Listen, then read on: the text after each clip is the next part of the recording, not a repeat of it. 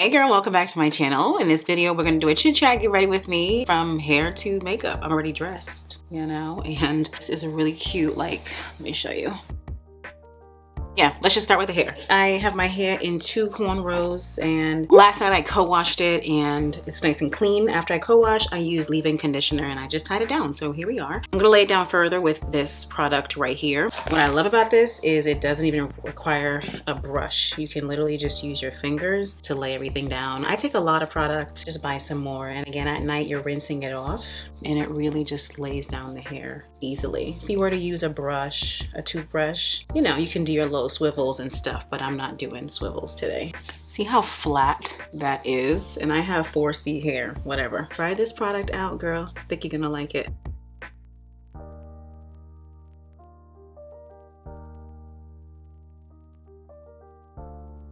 I did a video on this wig. It's already on my channel. If you want to see me try out different headbands that I bought to go with this wig, take a look at that, but I will link this hair below. It is human hair, and I just love the ease of it all. So look at this. And I could just leave it with this black comb, but I'm gonna put a headband on top of this. Fold it back. Okay, let's get this makeup going, okay? I gotta clean, I, look at me. You're, okay, you're gonna be very irritated because I love the hang time of this ponytail and it's so soft that I'm going to intentionally whip my ponytail back and forth. I'm putting you on notice right now. If you feel irritated, watch a different video. But I can't guarantee that the other video is not gonna annoy you either, you know? Like, it's just what it is. We like to enjoy life, okay?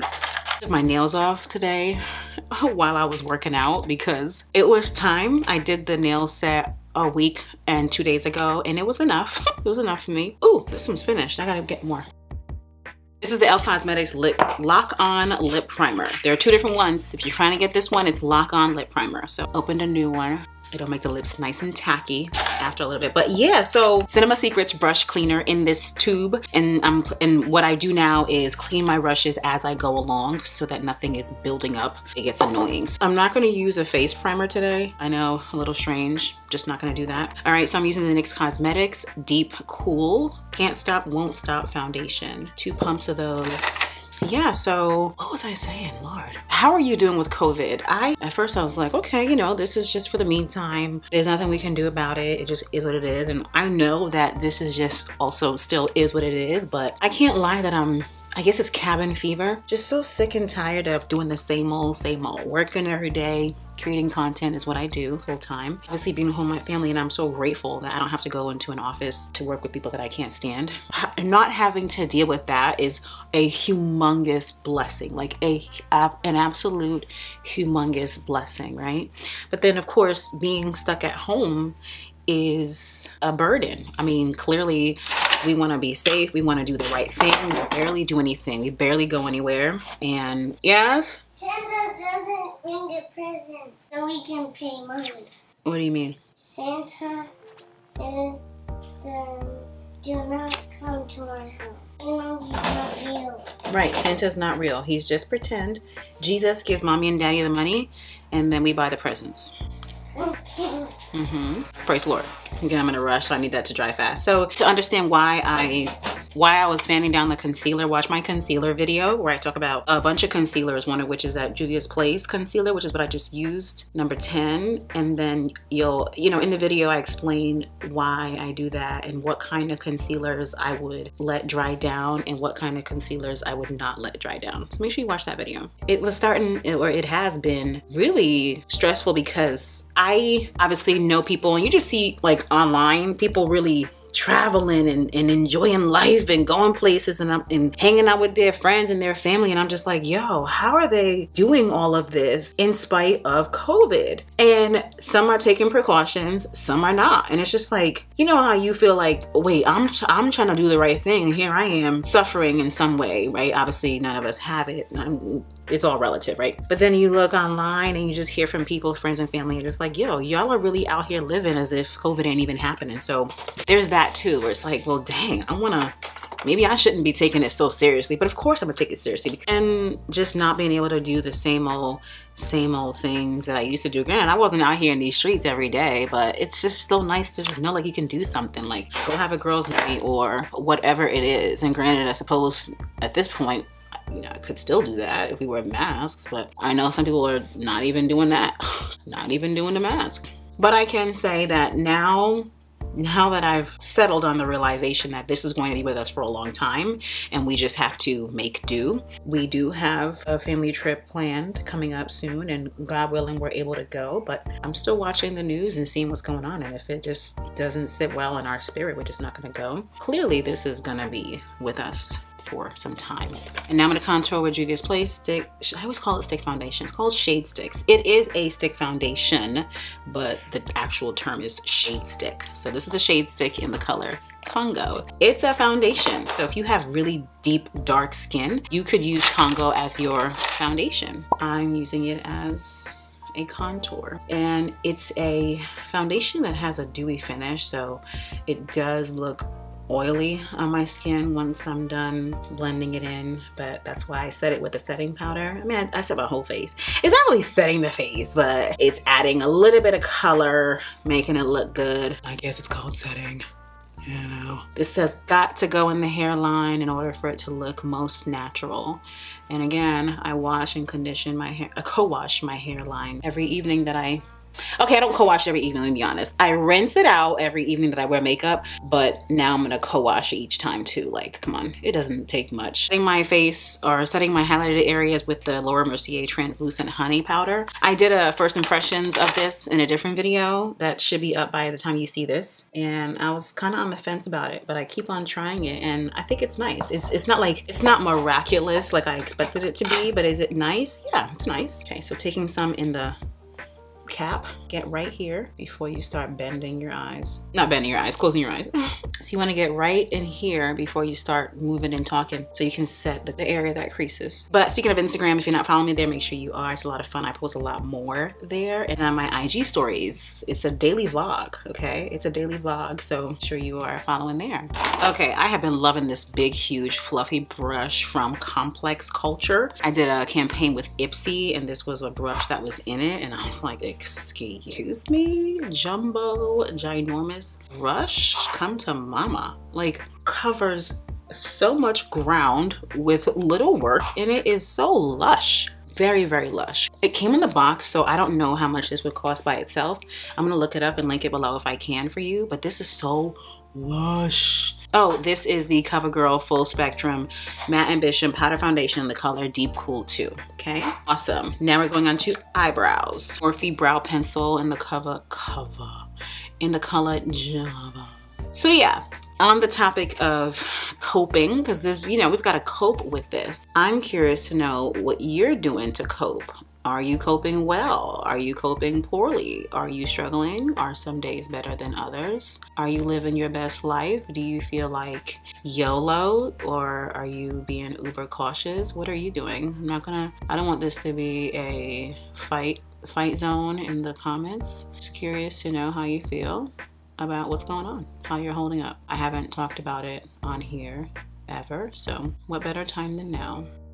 Now we're gonna clean the brows up with this NARS Soft Matte concealer in the color Almond. Another thing that I want to talk about is consumption, right? So what are you consuming on a daily basis? And is it edifying? Is it just entertaining? Is it entertaining and edifying? Or is it a complete waste of your time? Because for me, I, of course, I, I mean, my job is social media. So I like to stay abreast with what is going on on Instagram, YouTube, the people that I follow, just what's happening. I enjoy people that I follow. If I don't enjoy, I'll unfollow, right? I enjoy the folks that I follow, what's going on with brands, what's new, what's happening, what's cracking, you see? So I, of course, need to stay up to date with that stuff every day. You know, that's my strategy. But then I also like to listen to podcasts. So I'm gonna show you the podcasts that I have downloaded that I enjoy listening to through the day because yo the inputs that we allow into our body into our mind are really, really important. I mean, it affects the way your day goes. It affects what we think about. It affects how we respond to people. And it affects our just our growth in general. So it's like, are you growing each day or at least most days? Or are you just simply living and just getting by? The getting by is not for me. I used to do that, but I like to be as mindful as I can in terms of what my inputs are. Granted, there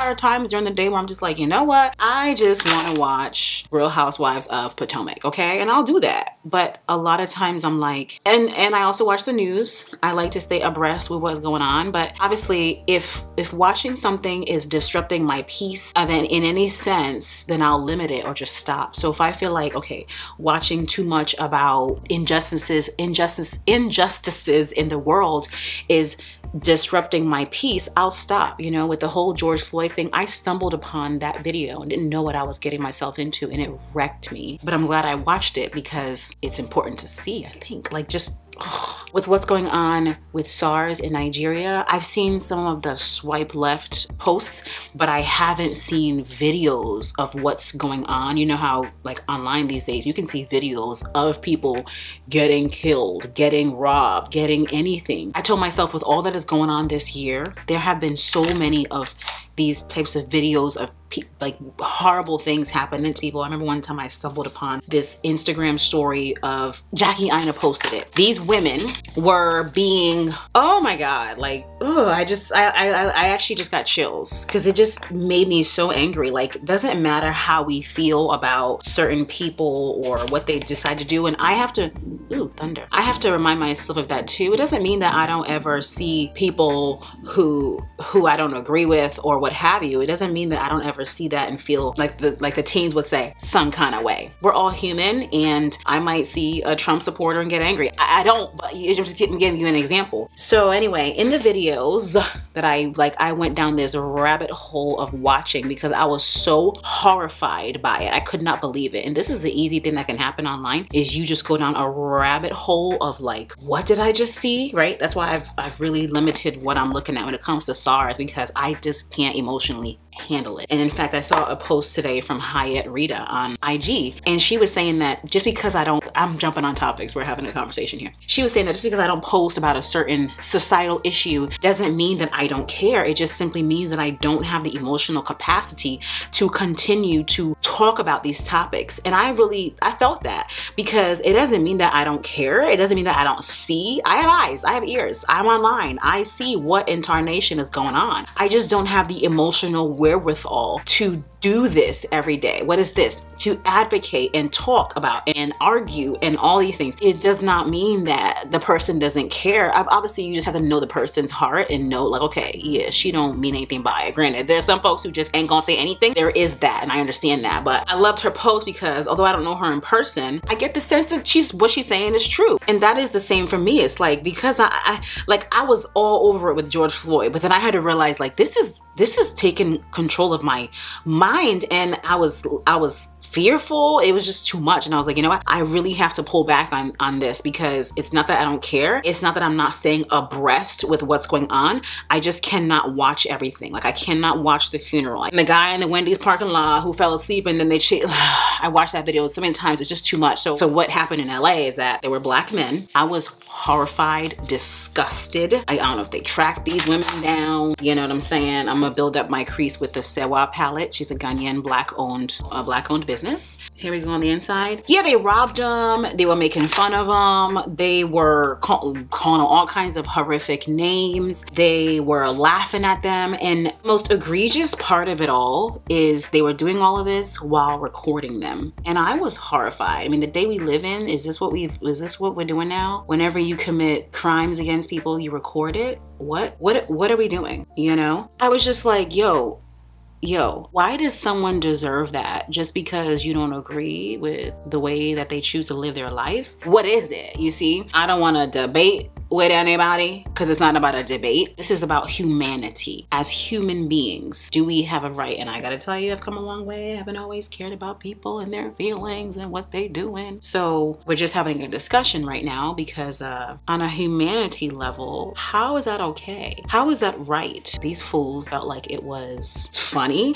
I I just could not. I just could not. Okay, I'm taking that was the color Patience in the palette, and I'm taking the color Affluence. It's a brown. Actually, I should take a flat flat shadow brush. Yeah, they thought it was funny. They were recording the whole thing. I was horrified by it, angered by it, hurt by it. I just could not believe it. I mean, and then it ended up on the news, you know, and it became a big thing because these fools recorded the whole thing, which is so stupid. And they have an online presence of some sort. I don't know how many people follow them or what have you. Clearly, you documented your crime, dummy. You know? I just saw that the news covered it and I was like, good. I hope that the justice system handles them. On a humanity level, I'm, I'm, I'm learning that we've got to be able to get along and respect people even if you don't agree or like something about them. I mean, I've worked with people that I don't like. Like, I don't like how you live, how you behave, how you speak to me or to whatever. But in order to just get along, you can't just force yourself to just get along with someone or like find something decent about them that you can get along with. You just gotta trash them because of whatever the situation is. I just, and again, that has taken growth. I'm no saint because when it all comes down to it, how do I wanna be treated? And what, what gives me the right to just treat someone like this? What right do I have? What license do I have to do that? That's what I believe believe we need to think about. I don't like this, I don't like that. I don't agree with this, I don't agree with that. But what license do I have to treat you like, yo, people treat their dogs better than they treat humans sometimes. My husband got on me like that about that because when we first got together, I had a dog and I took her everywhere. I took her on flights. Honey, she was catching flights whenever I traveled. I mean, I treated her like a person. I, I wasn't a mom at that time and I saw her as my child, you know, kind of psychotic, but I really loved her, you know? And he really made me understand like, yo, people in America, he's not from America. He's like, people in America treat their dogs better than they treat humans. And I was offended by that at first but I've grown to really understand what he means. Now, some folks out here making making their dogs acai bowls, you know what I'm saying?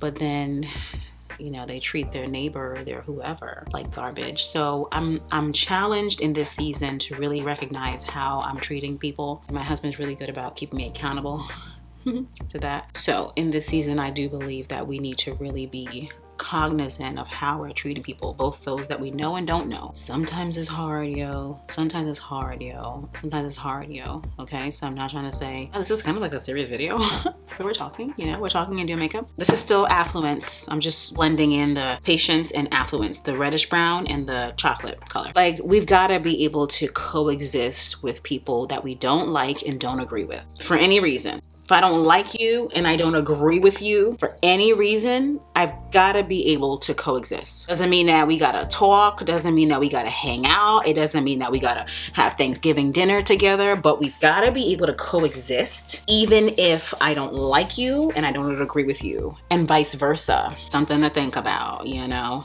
I'm gonna clean this brush off, dip it into the brush cleaner and it's stained but it's a lot cleaner than it was it's a lot cleaner than it was you know it's just you know just something to think about just something to think about in this season things that i think about just trying to be better Juvia's place has a has two new holiday sets out one of which is called the nubian glow and i'm going to use the orange I'm gonna use two of the colors in here actually. And I'm gonna pack it on with a small flat shadow brush. I used it yesterday, so this is a little orange. So yeah, I want you to comment and let me know what you think about that. I could have cut the crease, but clearly I didn't feel like it, and that's why I didn't do that.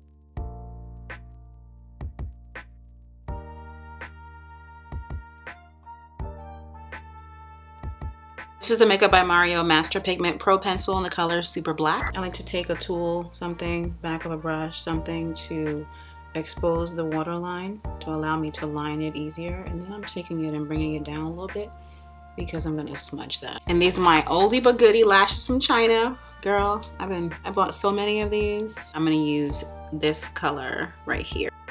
I'm gonna set my contour or further contour with this CoverGirl. This is the color Deep Cool 4. It's a powder that is dark for me. So it's not a bronzer or contour powder. It's just a face powder that is darker than my skin tone that I use to contour. So that takes away the shine and deepens up the contour. And then highlight, I like to use the Rare Beauty Luminizer in the color Flaunt. Taking it in the back of my hand. It dries very fast. My sponge is just about dry, but but it's still a little bit damp. And here we go. Gotta go fast because it dries very quickly. Taking some more on the back of my hand, pinching the sponge, and quick, quick, quick. I want there to be a gap between my under eye shadow and the light, the highlighter. So I like to really just like get underneath my eye at an angle. Above the lip, left over onto the chin. Let me put a little more. A little bit on the chin and then down the middle of the nose. Gotta blend this fast, man.